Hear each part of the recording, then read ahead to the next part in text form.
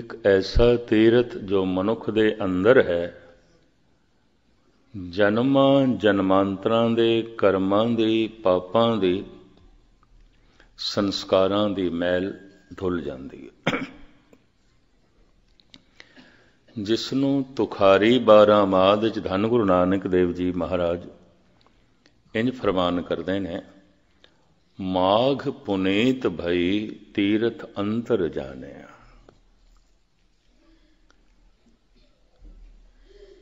ਅਸੀਂ ਅੰਤਰੀਵ ਤੀਰਥ ਨੂੰ ਜਾਣ ਲਿਆ ਅੰਦਰ ਦੇ ਤੀਰਥ ਨੂੰ ਜਾਣ ਲਿਆ ਜੋ ਪਾਪਾਂ ਨੂੰ ਧੋ ਦਿੰਦਾ ਹੈ, ਦੁੱਖਾਂ ਨੂੰ ਮਿਟਾ ਦਿੰਦਾ ਹੈ, ਕਲ ਕਲੇਸ਼ ਨੂੰ ਮਿਟਾ ਦਿੰਦਾ ਹੈ, ਪੁਰਬਲੇ ਕੀਤੇ ਹੋਏ ਕਰਮਾਂ ਨੂੰ ਮਿਟਾ ਦਿੰਦਾ ਹੈ, ਧੋ ਦਿੰਦਾ ਹੈ। ਉਹ ਕਿਹੜਾ ਤੀਰਥ ਹੈ? ਸੁਣੀਏ ਮਨੀਏ ਮਨ ਕੀਤਾ ਭਾਵ ਜੋ ਭੋਜਨ ਅਸੀਂ ਛਕਦੇ ਆ ਉਸ ਦਾ ਜਿਹੜਾ ਭਾਗ ਸਾਡੇ ਸਰੀਰ ਦੇ ਚ ਰਹਿ ਜਾਂਦਾ ਹੈ, ਉਹੀ ਖੂਨ ਬਣਦਾ ਹੈ। ਉਹੀ ਮਾਸ ਬਣਦਾ ਹੈ। ਉਹੀ ਸਰੀਰ ਦੀ ਸ਼ਕਤੀ ਬਣਦਾ ਹੈ। ਉਹੀ ਇੰਦਰੀਆਂ ਦੀ ਸ਼ਕਤੀ ਬਣਦਾ ਹੈ। ਜੋ ਅਸੀਂ ਪੜਦੇ ਆ ਸੁਣਦੇ ਆ ਜਿਸ ਨੂੰ ਮਨ ਮੰਨ ਲੈਂਦਾ ਹੈ, ਉਹ ਮਨ ਦਾ ਹਿੱਸਾ ਬਣ ਜਾਂਦਾ ਹੈ। ਬਾਕੀ ਵਿਅਰਥ ਚਲਾ ਜਾਂਦਾ ਹੈ, ਹਵਾ ਚੁੱੜ ਜਾਂਦਾ ਹੈ। ਸੁਣਿਆ ਹੋਇਆ ਹਵਾ ਚੁੱੜ ਗਿਆ। ਮੈਂ ਇੱਕ ਦਫਾ ਫਿਰ ਦੁਹਰਾਵਾਂ, ਇਹੀ ਦਲੀਲ ਹੈ। ਜੋ ਭੋਜਨ ਅਸੀਂ ਖਾਂਦੇ ਹਾਂ ਉਸ ਦਾ ਜਿਹੜਾ ਭਾਗ ਸਾਡੇ ਸਰੀਰ ਦੇ ਚ ਰਹਿ ਜਾਂਦਾ ਹੈ, ਉਹੀ ਖੂਨ ਹੈ, ਉਹੀ ਮਿੰਜ ਹੈ, ਉਹੀ ਮਾਸ ਹੈ।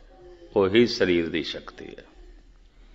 ਸਰੀਰ ਭੋਜਨ ਦਾ ਵਿਕਾਸ ਹੈ।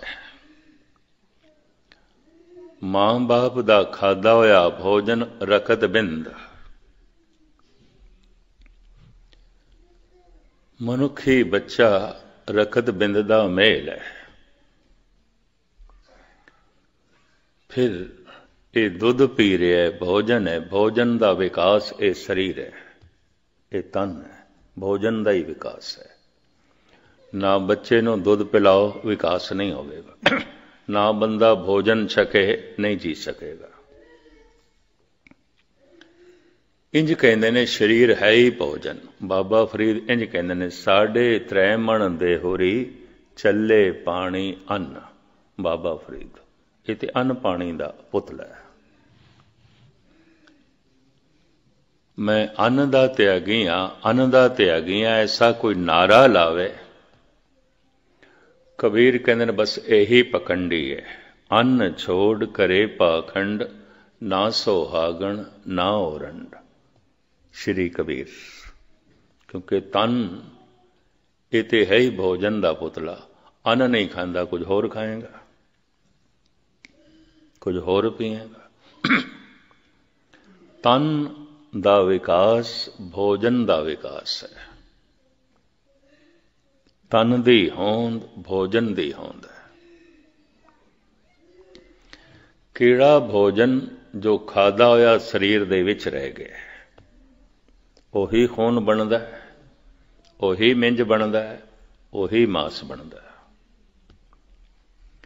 ਸਤ ਸੰਗ ਦੇ ਵਿੱਚ ਜੋ ਅਸੀਂ ਸੁਣਦੇ ਆ ਜਿਸ ਨੂੰ ਮਨ ਮੰਨ ਲੈਂਦਾ ਹੈ, ਉਹੀ ਸਾਡੇ ਮਨ ਦਾ ਹਿੱਸਾ ਬਣਦਾ, ਬਾਕੀ ਨਹੀਂ ਬਣਦਾ। ਬਾਕੀ ਸੁਣਿਆ ਹੋਇਆ ਹਵਾ ਚ ਉੱਡ ਗਿਆ। ਬਾਕੀ ਸੁਣਿਆ ਹੋਇਆ ਬਾਹਰ ਰਹਿ ਗਿਆ। ਬਾਕੀ ਸੁਣਿਆ ਹੋਇਆ ਸਾਡੇ ਲਈ ਕੋਈ ਲਾਭਕਾਰੀ ਨਾ ਹੋਇਆ। ਕਿਉਂਕਿ ਮਨ ਨੇ ਤੇ ਮੰਨਿਆ ਨਹੀਂ, ਮਨ ਦਾ ਹਿੱਸਾ ਨਹੀਂ ਬਣਿਆ। ਇੱਕ ਦਫਾ ਮੈਂ ਫਿਰ ਦੁਹਰਾ ਕੇ ਅਗਾਹ ਵਧਦਾ ਜੋ ਕੁਝ ਅਸੀਂ ਜੀਵਨ ਭਰ ਛਕਦੇ ਆਂ ਭੋਜਨ ਖਾਂਦੇ ਆਂ ਉਸ ਦਾ ਜਿਹੜਾ ਭਾਗ ਸਾਡੇ ਸਰੀਰ ਦੇ ਚ ਰਹਿ ਜਾਂਦਾ ਹੈ, ਉਹੀ ਖੂਨ ਹੈ। ਹੋਰ ਕੁਝ ਵੀ ਖੂਨ ਨਹੀਂ ਹੈ, ਉਹੀ ਖੂਨ ਹੈ। ਉਹੀ ਚਰਬੀ ਹੈ, ਉਹੀ ਮਾਸ ਹੈ, ਉਹੀ ਸਰੀਰ ਦੀ ਤਵਾਨਾਈ ਹੈ, ਸ਼ਕਤੀ ਹੈ। ਜੋ ਅਸੀਂ ਸੁਣਦੇ ਆਂ ਜੋ ਜੋ ਸੁਣਦੇ ਆ। ਜਿਸ ਨੂੰ ਮਨ ਮੰਨ ਲੈਂਦਾ ਹੈ, ਉਹ ਸਾਡੇ ਮਨ ਦਾ ਹਿੱਸਾ ਬਣਦਾ ਹੈ, ਬਾਕੀ ਨਹੀਂ ਬਣਦਾ ਨਹੀਂ ਬਣਦਾ। ਬਾਕੀ ਸੁਣਿਆ ਹੋਇਆ ਹਵਾ ਚ ਉੱਡ ਗਿਆ। ਅਕਸਰ ਮਨੁੱਖ ਕਹਿ ਦਿੰਦਾ ਸੁਣਿਆ ਤੇ ਹੈ, ਪਰ ਕੀ ਕਰੀਏ, ਮਨ ਨਹੀਂ ਮੰਨਦਾ। ਅਕਸਰ ਕਹਿ ਦਿੰਦਾ ਵੇਖਿਆ ਤੇ ਹੈ ਮਨ ਨਹੀਂ ਮੰਨਦਾ। ਪੜਿਆ ਤੇ ਹੈ, ਮਨ ਨਹੀਂ ਮੰਨਦਾ। ਤਾਂ ਫਿਰ ਪੜਿਆ ਹੋਇਆ ਮਨ ਦਾ ਹਿੱਸਾ ਨਹੀਂ ਬਣੇਗਾ, ਸੁਣਿਆ ਹੋਇਆ ਮਨ ਦਾ ਹਿੱਸਾ ਨਹੀਂ ਬਣੇਗਾ, ਕਿਉਂਕਿ ਮਨ ਮੰਨਦਾ ਨਹੀਂ।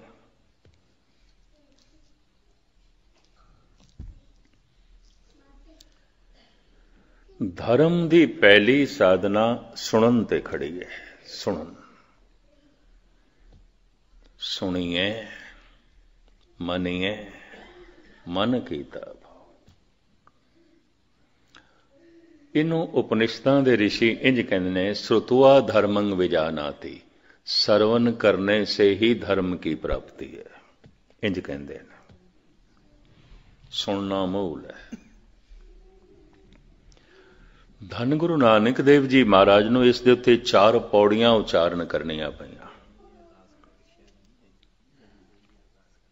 ਸੁਣੀਏ ਸਿੱਧ ਪੀਰ ਸੁਣਨਾਥ। ਕਿਸੇ ਨੇ ਸੁਣਿਆ ਸੁਣਿਆ ਹੋਇਆ ਮੰਨ ਲਿਆ, ਸਿੱਧ ਬਣ ਗਿਆ, ਨਾਥ ਬਣ ਗਿਆ। ਸੁਣੀਏ ਸਿੱਧ ਪੀਰ ਸੁਣਨਾਥ। ਕੋਈ ਪੀਰ ਬਣ ਗਿਆ, ਕੋਈ ਸੰਤ ਬਣ ਗਿਆ।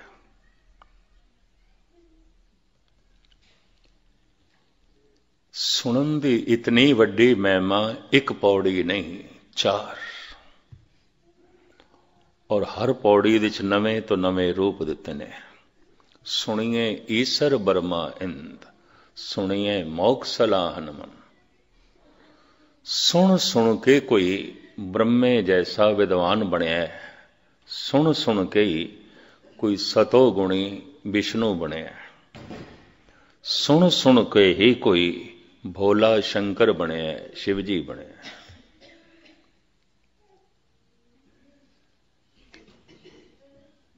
ਸਾਰੀ ਇਹ ਉੱਚ ਪਦਵੀਆਂ ਧਰਮ ਦੀਆਂ ਸੁਣਨ ਤੇ ਖੜੀਆਂ ਸੁਣੀਏ ਸਤ ਸੰਤੋਖ ਗਿਆਨ। ਕਿਸੇ ਨੇ ਸੁਣਿਆ, ਮੰਨ ਲਿਆ, ਉਹੀ ਸਤ ਬਣਿਆ, ਉੱਚਾ ਚਰਨ ਬਣ ਗਿਆ, ਉਹੀ ਸੰਤੋਖ ਬਣ ਗਿਆ, ਉਹੀ ਸਬਰ ਬਣ ਗਿਆ। ਉਸ ਸੁਣਨ ਨੇ ਇਤਨਾ ਪਵਿੱਤਰ ਕਰ ਦਿੱਤਾ ਹੈ ਕਿ 68 ਤੀਰਥ ਇਸ ਤੋਂ ਕੁਰਬਾਨ ਕੀਤੇ ਜਾ ਸਕਦੇ ਨੇ। ਸਦਕੇ ਕੀਤੇ ਜਾ ਸਕਦੇ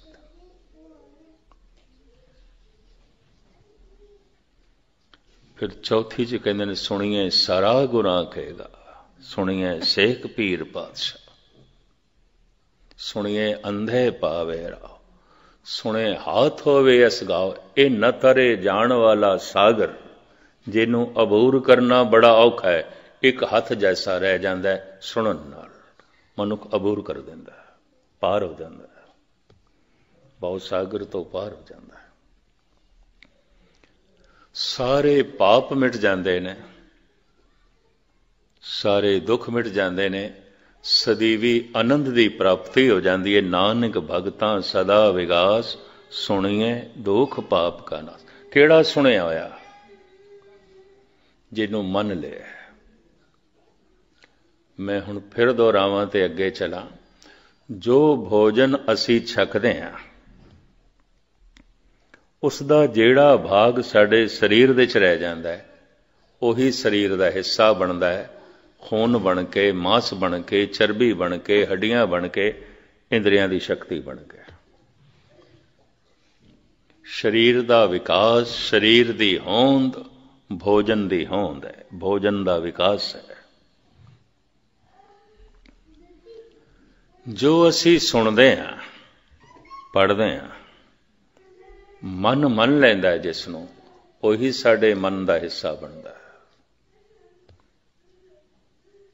ਉਹੀ ਸਾਡੇ ਮਨ ਦਾ ਰੂਪ ਬਣਦਾ ਹੈ। ਸੁਣਿਆ ਹੋਇਆ ਅਗਰ ਮੰਨਿਆ ਹੈ ਤਾਂ ਇਹ ਸਿੱਧ ਹੋ ਜਾਏਗਾ। ਸੁਣਿਆ ਹੋਇਆ ਅਗਰ ਮੰਨਿਆ ਹੈ ਤਾਂ ਸੰਤੋਖੀ ਹੋ ਜਾਏਗਾ। ਸੁਣਿਆ ਹੋਇਆ ਅਗਰ ਮੰਨਿਆ ਹੈ ਤਾਂ ਇਹ ਗਿਆਨੀ ਹੋ ਜਾਏਗਾ।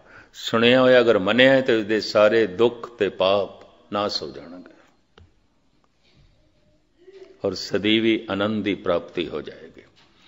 ਸੁਣਨ ਵਾਸਤੇ ਕਬੂਲ ਕਰਨਾ ਪਏਗਾ, ਮੈਂ ਕੁਝ ਨਹੀਂ ਜਾਣਨਾ ਚਾਹੁੰਦਾ ਔਰ ਮੈਂ ਸੁਣਨਾ ਚਾਹੁੰਦਾ, ਜਾਣਨਾ ਚਾਹੁੰਦਾ। ਇਸ ਵਾਸਤੇ ਬੜਾ ਨਿਰਮਾਣ ਸ਼ਬਦ ਦਿੱਤਾ ਗੁਰੂ ਨਾਨਕ ਨੇ, ਸਿੱਖ। ਸਿੱਖ ਤੋਂ ਮੁਰਾਦ ਕੀ ਮੈਂ ਸਿੱਖਣਾ ਹੈ? ਮੈਂ ਨਹੀਂ ਜਾਣਦਾ ਕੁਝ ਵੀ ਨਹੀਂ ਜਾਣਦਾ।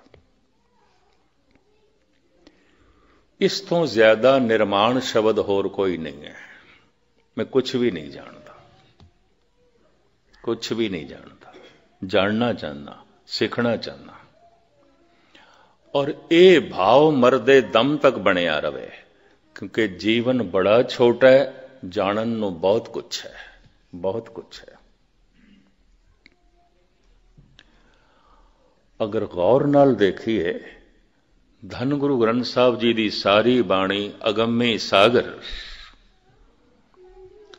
ਮਨੁੱਖ ਨੂੰ ਬੜੇ ਮੁਸ਼ਕਿਲ ਨਾਲ ਕਿਧਰੇ ਦੋ ਚਾਰ ਸ਼ਬਦਾਂ ਦੀ ਜੀਵਨ ਭਰ ਦੇ ਵਿੱਚ ਕਿਧਰੇ ਸਮਝ ਆ ਜਾਏ ਤੇ ਆ ਜਾਏ। ਫਿਰ ਦਸਮ ਗ੍ਰੰਥ ਹੈ, ਭਾਈ ਗੁਰਦਾਸ ਜੀ ਦੀਆਂ ਵਾਰਾਂ ਨੇ 52 ਕਵੀਆਂ ਦੀਆਂ ਰਚਨਾਵਾਂ ਨੇ। ਕਵੀ ਸੰਤੋਖ ਸਿੰਘ ਜੀ ਦਾ ਗੁਰਪ੍ਰਤਾਪ ਸੂਰਜ ਗ੍ਰੰਥ ਹੈ।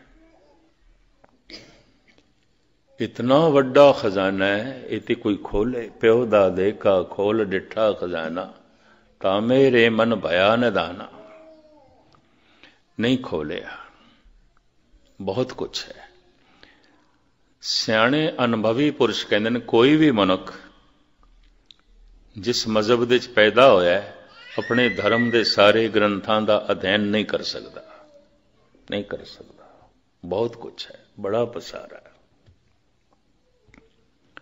ਬਹੁਤ ਵੱਡਾ ਪਸਾਰਾ ਹੈ। ਤੋ ਮੈਰਜ ਕਰਾਂ ਇਸ ਵਾਸਤੇ ਸਤਿਗੁਰ ਨੇ ਨਿਰਮਾਣ ਸ਼ਬਦ ਦੇ ਦਿੱਤਾ, ਸਿੱਖ।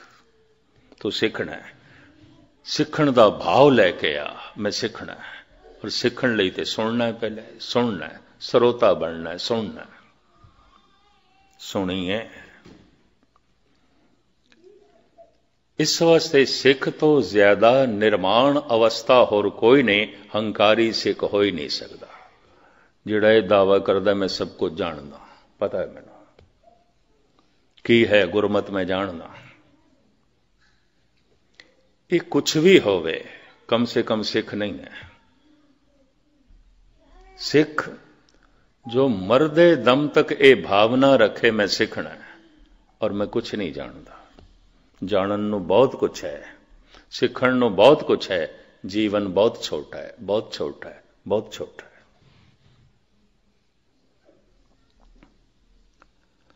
ਇਸ ਵਾਸਤੇ ਕਿਉਂਕਿ ਇਹ ਯੁੱਗ ਕਲਯੁਗ ਦੇ ਵਿੱਚ ਕਿਸੇ ਯੁੱਗ ਦੇ ਵਿੱਚ ਕਾਮ ਪ੍ਰਧਾਨ ਹੁੰਦਾ ਹੈ, ਕਿਸੇ ਦੇ ਵਿੱਚ ਲੋਭ ਪ੍ਰਧਾਨ ਹੁੰਦਾ ਹੈ, ਇਸ ਯੁੱਗ ਦੇ ਵਿੱਚ ਹੰਕਾਰ ਪ੍ਰਧਾਨ ਹੈ। ਸਾਹਿਬ ਕਹਿੰਦੇ ਨੇ, ਹਉ ਮੈਂ ਰੋਗ ਮਾਨਕ ਕੋ ਦੀਨਾ। ਇਹ ਪ੍ਰਧਾਨ ਹੈ, ਬੜਾ ਪ੍ਰਧਾਨ ਹੈ। ਆਹੰ ਮੈਂ ਹਾਂ, ਦੂਜਾ ਨਹੀਂ ਹੈ, ਤੋ ਹੰਕਾਰੀ ਸਿੱਖ ਨਹੀਂ ਹੋ ਸਕਦਾ। ਭਾਵੇਂ ਸਿੱਖ ਦਿਖਾਈ ਦਿੰਦਾ ਸਿੱਖ ਨਹੀਂ ਹੈ। ਸਿੱਖ ਦਾ ਤੇ ਮਤਲਬ ਹੈ ਮੈਂ ਸਿੱਖਣਾ ਚਾਹੁੰਦਾ। ਮੈਨੂੰ ਕੁਝ ਨਹੀਂ ਆਉਂਦਾ। ਮੈਂ ਕੁਝ ਨਹੀਂ ਜਾਣਦਾ। ਕਮ ਸੇ ਕਮ, ਹੈ ਪ੍ਰਭੂ, ਮੈਂ ਤੇਰੇ ਬਾਰੇ ਕੁਝ ਵੀ ਨਹੀਂ ਜਾਣਦਾ। ਕਮ ਸੇ ਕਮ, ਹੈ ਗੁਰੂ, ਮੈਂ ਤੇਰੇ ਬਾਰੇ ਕੁਝ ਵੀ ਨਹੀਂ ਜਾਣਦਾ। ਮੈਂ ਜਾਣਨਾ ਚਾਹੁੰਦਾ। ਮੈਂ ਸਿੱਖਣਾ ਚਾਹੁੰਦਾ। ਇਤਨਾ ਗਹਿਰਾ ਭਾਵ ਹੋਵੇ तो ਸਿੱਖ ਵੀ ਲਏਗਾ। ਬੜਾ ਨਿਰਮਾਣ ਸ਼ਬਦ ਹੈ। ਧੰਨ ਗੁਰੂ ਨਾਨਕ ਦੇਵ ਜੀ ਮਹਾਰਾਜ ਕਹਿੰਦੇ ਨੇ, ਇਕ ਨਾ ਨਾਦ ਨਾ ਬੇਦ, ਗੇ ਰਸ ਰਸ ਕਸ ਨਾ ਜਾਣੰਤ। ਇਸ ਸ਼ਲੋਕ ਦਾ ਖੁਲਾਸਾ ਕਰਨ ਤੋਂ ਪਹਿਲੇ ਮੈਂ ਇਤਨਾ ਅਰਜ਼ ਕਰਦੇ ਹਾਂ। ਧੰਨ ਗੁਰੂ ਨਾਨਕ ਦੇਵ ਜੀ ਮਹਾਰਾਜ ਨੇ ਆਪਣੀ ਪ੍ਰਚਾਰ ਫੇਰੀ ਕੀਰਤਨ ਦੇ ਰਾਹੀਂ ਆਰੰਭ ਕੀਤੀ।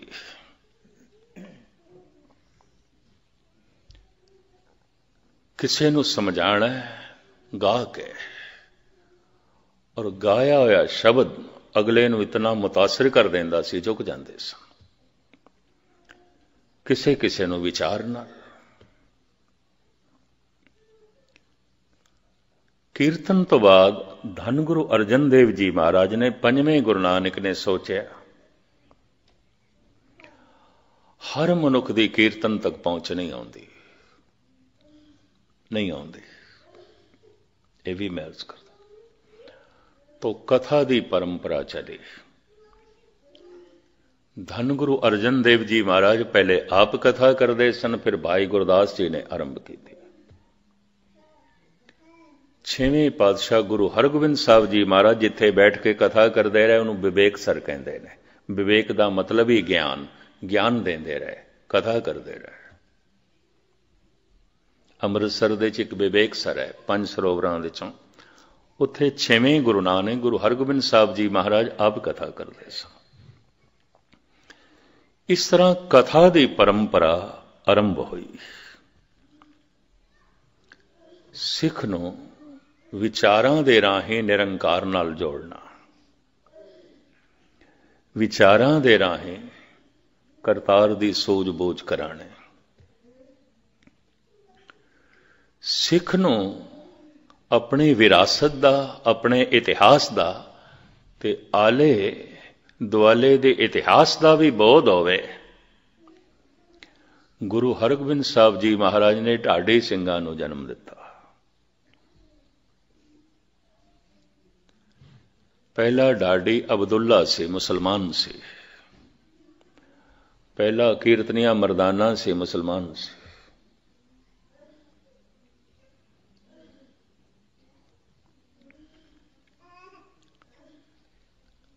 ਅਬਦੁੱਲਾ ਸਿੱਖ ਇਤਿਹਾਸ ਨੂੰ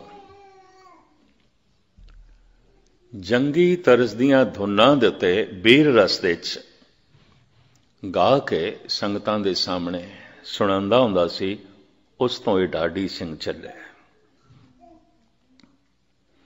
ਇਤਿਹਾਸ ਨੂੰ ਕਵਤਾ ਦੇ ਵਿੱਚ ਬਿਆਨ ਕਰਨਾ। ਦਸਵੇਂ ਗੁਰੂ ਨਾਨਕ ਦਾ ਜ਼ਮਾਨਾ ਆਇਆ ਸਿੱਖ ਨੂੰ ਸਾਹਿਤ ਦੀ ਵੀ ਸਮਝ ਹੋਵੇ, ਕਲਾ ਦਾ ਵੀ ਬੋਧ ਹੋਵੇ। ਤੋ ਧੰਨ ਗੁਰੂ ਗੋਬਿੰਦ ਸਿੰਘ ਜੀ ਮਹਾਰਾਜ ਆਪਣੇ ਨਾਲ 52 ਕਵੀ ਰੱਖਦੇ ਸਨ। ਜਗਾ ਜਗਾ ਕਵੀ ਸੰਮੇਲਨ ਉਹ ਕਰਾਂਦੇ ਸਨ।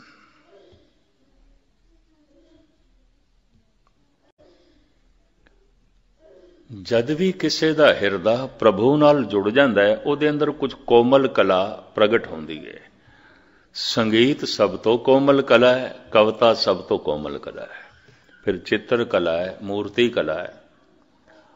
ਅਵਤਾਰਾਂ ਦੀ ਪਹਿਚਾਣ ਹੀ ਕਲਾ ਕਰਕੇ ਆਉਂਦੀ ਸੀ ਬਈ ਇਹਦੇ ਅੰਦਰ ਕਲਾ ਕਿਤਨੀ ਹੈ।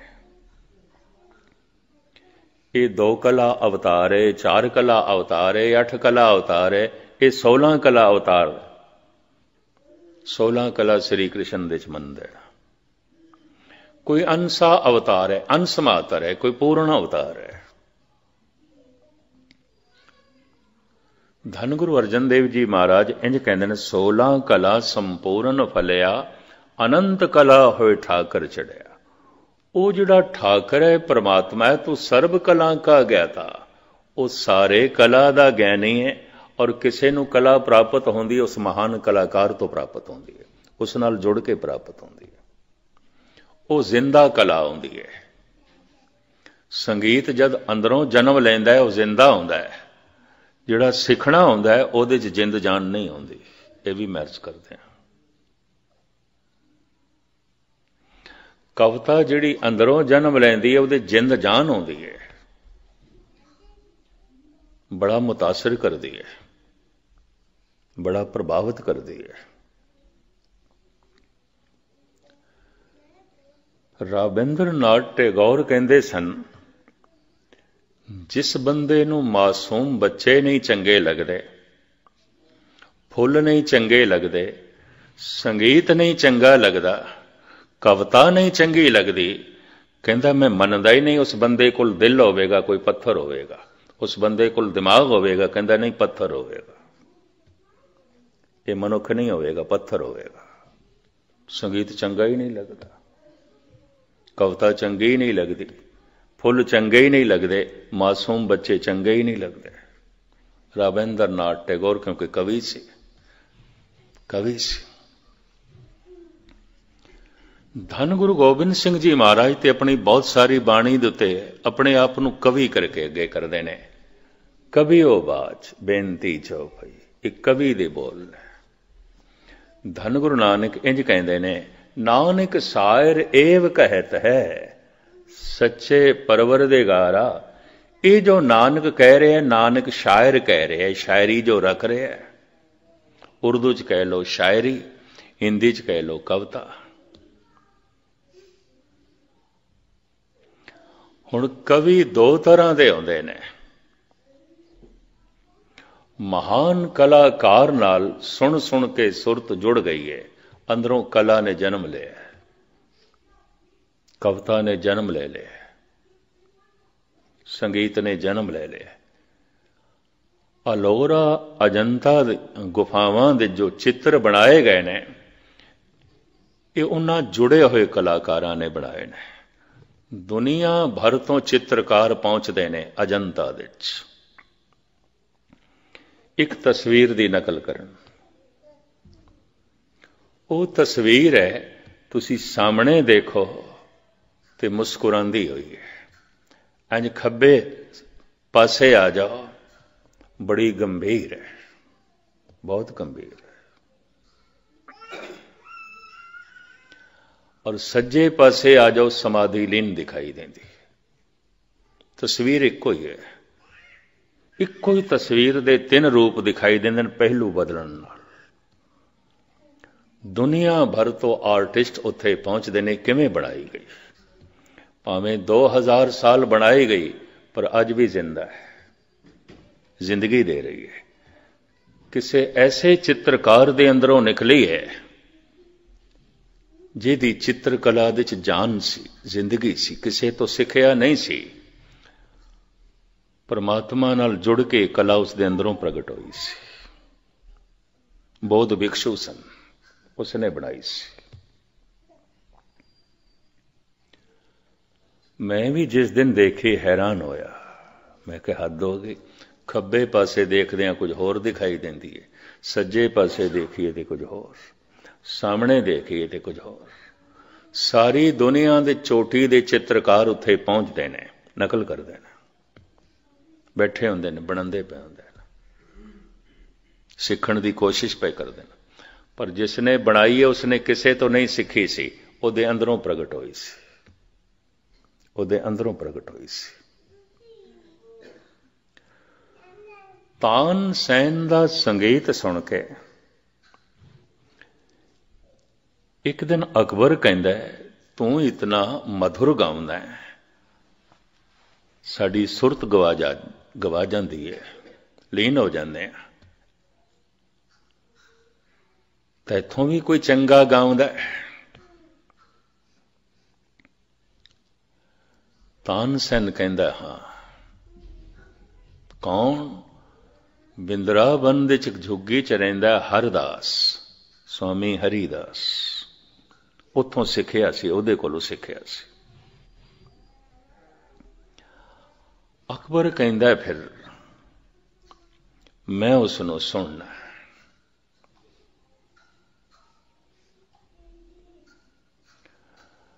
ਪਤਾ ਹੈ?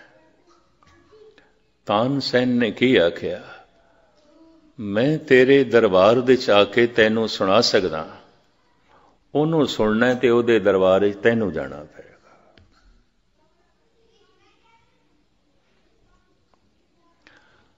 ਪਰ ਉਹ ਰੋਜ਼ ਨਹੀਂ ਗਾਉਂਦਾ।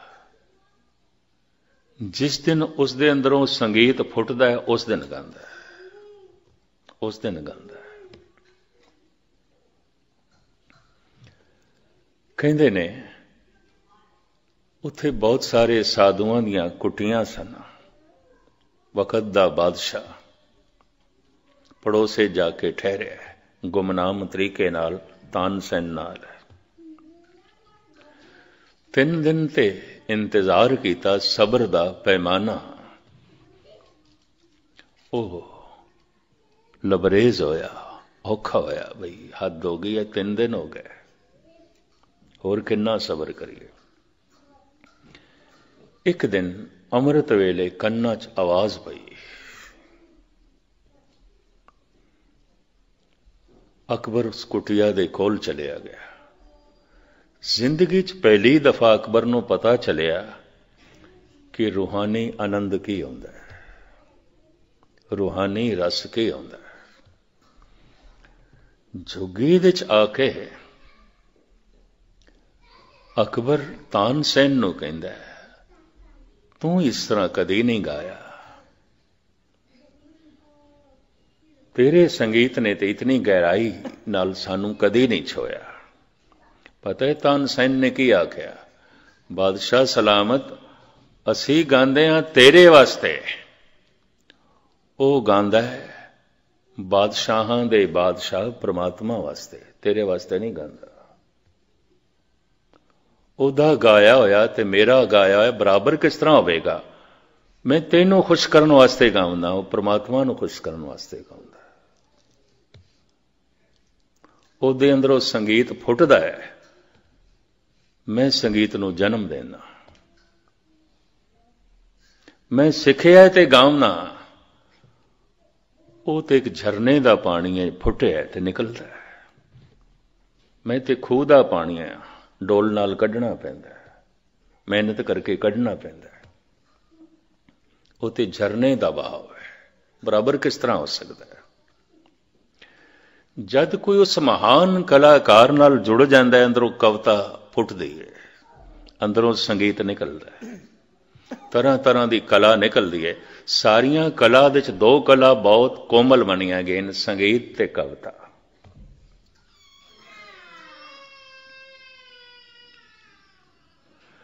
ਧੰਨ ਗੁਰੂ ਨਾਨਕ ਦੇਵ ਜੀ ਮਹਾਰਾਜ ਕਹਿੰਦੇ ਨੇ, ਇੱਕ ਨਾ ਨਾਦ, ਨਾ ਬੇਦ, ਗੇ ਰਸ ਰਸ ਕਸ ਨਾ ਜਾਣੰਤ।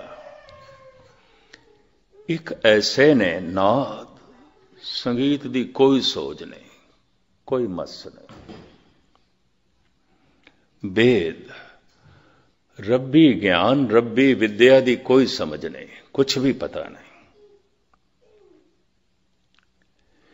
ਇੱਕ ਨਾ ਸ਼ਬਦ ਨਾ ਸੁਰਤ। ਅੱਖਰ ਕਾ ਭਇਓ ਨਾ ਲਹੰਦ। ਇਕ ਨਾ ਨਾਦ ਨਾ ਵੇਦ ਗੇ ਰਸ ਰਸ ਕਸ ਨਾ ਜਾਣੰਦ। ਇਕ ਨਾ ਸ਼ਬਦ ਨਾ ਸੁਰਤ। ਅੱਖਰ ਸਰ, ਅੱਖਰ ਕਾ ਭਇਓ ਨਾ ਲਹੰਦ। ਕੁਛ ਅੱਖਰ ਦਾ ਬੋਧ ਨਹੀਂ ਉਸ ਪਰਮਾਤਮਾ ਦਾ। ਕੁਝ ਸੰਗੀਤ ਦੀ ਸਮਝ ਨਹੀਂ, ਕਵਿਤਾ ਦਾ ਬੋਧ ਨਹੀਂ। ਲੇਕਿਨ ਕਹਿੰਦੇ ਨੇ ਅਸੀਂ ਬਹੁਤ ਕੁਝ ਜਾਣਦੇ ਆ ਬਹੁਤ ਕੁਝ ਜਾਣਦੇ ਆ ਬਹੁਤ ਕੁਝ ਜਾਣਦੇ ਆ ਹੁਣ ਗੁਰੂ ਨਾਨਕ ਦੇਵ ਜੀ ਕਹਿੰਦੇ, ਨਾਨਕ ਤੇ ਨਰ ਅਸਲ ਖਰ, ਜੋ ਬਿਨ ਗੁਣ ਗਰਤ ਕਰਨ। ਨਾ ਕਵਿਤਾ ਜਾਣਦਾ ਨਾ ਸ਼ਾਇਰੀ ਨੂੰ ਜਾਣਦਾ ਨਾ ਸੰਗੀਤ ਨੂੰ ਜਾਣਦਾ ਨਾ ਰੱਬੀ ਵਿਚਾਰ ਨੂੰ ਜਾਣਦਾ ਤੇ ਫਿਰ ਦਾਵਾ ਮੈਨੂੰ ਸਭ ਕੁਝ ਪਤਾ ਹੈ ਮਹਾਰਾਜ ਕਹਿੰਦੇ ਨੇ, ਅਸਲੀ ਖੋਤੇ ਇਹਨਾਂ ਨੂੰ ਕਹਿੰਦੇ ਨੇ। ਐਸਾ ਕਿਹਾ ਧੰਨ ਗੁਰੂ ਨਾਨਕ ਦੇਵ ਜੀ ਨੇ। ਕਿਉਂ? ਭਾਵਕ ਮਨੁੱਖ, ਸ਼ਰਧਾਲੂ ਮਨੁੱਖ ਸਰੋਤਾ ਹੁੰਦਾ ਹੈ ਔਰ ਕਲਾ ਦੇ ਨੇੜੇ ਚਲਾ ਜਾਂਦਾ ਹੈ। ਇਹ ਵੀ ਮਹਿਰਜ ਕਰਦੇ ਆ ਨੇੜੇ ਚਲਾ ਜਾਂਦਾ ਹੈ। ਹਕੀਕਤ ਹੈ, ਇਹ ਬਹੁਤ ਵੱਡੀ ਸਚਾਈ ਹੈ। ਅੱਜ ਦੁਨੀਆ ਬਹੁਤ ਬਾਹਰ ਮੁਖੀ ਹੋ ਗਈ ਹੈ, ਅੰਤਰਮੁਖੀ ਹੋਣਾ ਬਹੁਤ ਔਖਾ ਹੈ। ਇੱਕ ਦਫਾ ਮੈਂ ਫਿਰ ਦੁਹਰਾ ਦਿਆਂ ਤਾਂ ਕਿ ਗੱਲ ਪੂਰੀ ਪਕੜ ਦੇ ਚ ਆ ਜਾਏ। ਜੋ ਭੋਜਨ ਅਸੀਂ ਖਾਂਦੇ ਆ ਉਸ ਦਾ ਜਿਹੜਾ ਭਾਗ ਸਾਡੇ ਅੰਦਰ ਰਹਿ ਜਾਂਦਾ ਹੈ,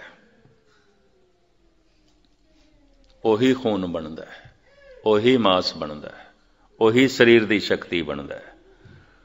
ਗੁਰੂ ਦਾ ਸ਼ਬਦ ਸਤਸੰਗ ਦੇ ਜੋ ਅਸੀਂ ਸੁਣਦੇ ਆਂ ਕਥਾ ਕੀਰਤਨ ਜੋ ਅਸੀਂ ਸੁਣਦੇ ਆਂ ਜੋ ਸਾਡੇ ਮਨ ਵਿੱਚ ਰਹਿ ਜਾਂਦਾ ਹੈ, ਉਹੀ ਸਾਡੇ ਮਨ ਦਾ ਹਿੱਸਾ ਬਣਦਾ ਹੈ ਤੇ ਮਨ ਦਾ ਹਿੱਸਾ ਬਣ ਕੇ ਪਹਿਲੇ ਭਰੋਸਾ ਬਣਦਾ ਹੈ, ਫਿਰ ਭਾਵਨਾ ਬਣਦਾ ਹੈ, ਭਗਤੀ ਬਣਦਾ ਹੈ।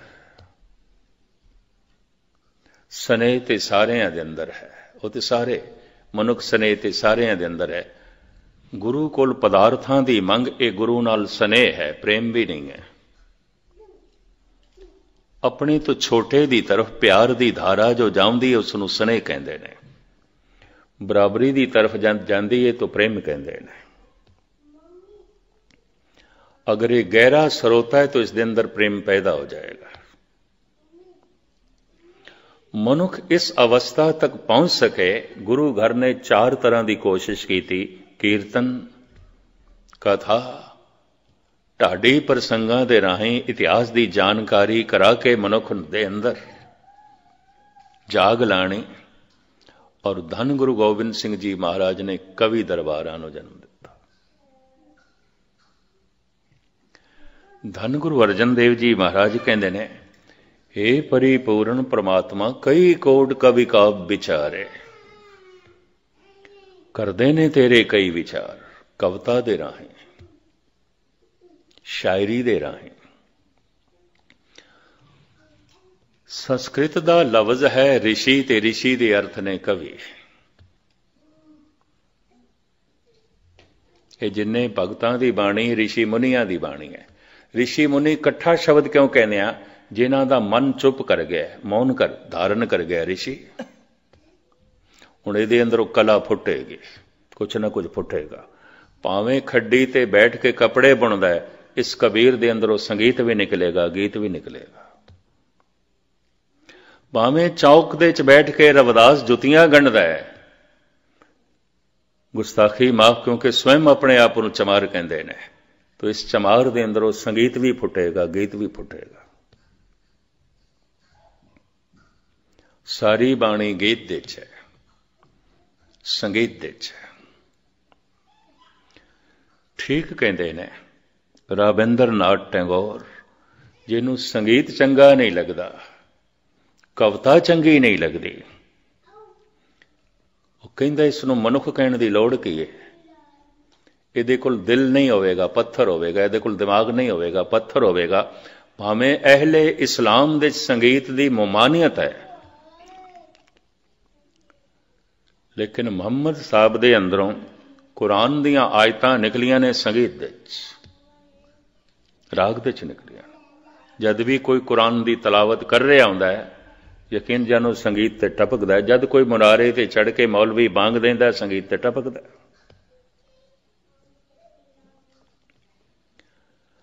ਅਮੀਰ ਖੁਸਰੋ ਇਸ ਨੂੰ ਇੰਜ ਕਹਿੰਦਾ ਛੁਪ ਗਏ ਉਹ ਸਾਜ਼ੇ ਹਸਤੀ ਛੇੜ ਕਰ, ਅਬ ਤੋ ਬਸ ਆਵਾਜ਼ ਹੀ ਆਵਾਜ਼ ਹੈ। हे ਪ੍ਰਭੂ, ਤੇਰੇ ਇੱਕ ਨੂਰ ਦੀ ਝਲਕ ਮਿਲੀ ਸੀ, ਉਹ ਤੇ ਖੋ ਗਈ ਪਰ ਤੇਰੀ ਆਵਾਜ਼ ਮੈਂ ਸੁਣ ਰਿਹਾ ਸੰਗੀਤਮਈ ਹੈ ਗੀਤਮਈ ਹੈ ਤੇਰੀ ਆਵਾਜ਼ ਗੀਤ ਹੈ ਤੇਰੀ ਆਵਾਜ਼ ਸੰਗੀਤ ਹੈ ਲਫ਼ਜ਼ ਉੱਥੇ ਰੂਹ ਹੈ ਰੂਹ ਦੀ ਆਵਾਜ਼ ਗੀਤ ਹੈ ਸੰਗੀਤ ਹੈ हे। ਪ੍ਰਭੂ ਇਹ ਤੇਰੀ ਆਵਾਜ਼ ਹੈ ਗੀਤ ਸੰਗੀਤ ਧੰਨ ਗੁਰੂ ਨਾਨਕ ਦੇਵ ਜੀ ਮਹਾਰਾਜ ਕਹਿੰਦੇ ਨੇ, ਇਕ ਨਾ ਨਾਦ ਨਾ ਬੇਦ ਗੇ ਰਸ। ਰਸ ਕਸ ਨਾ ਜਾਣਨ। ਨਾਦ ਦੀ ਸਮਝ ਹੀ ਨਹੀਂ।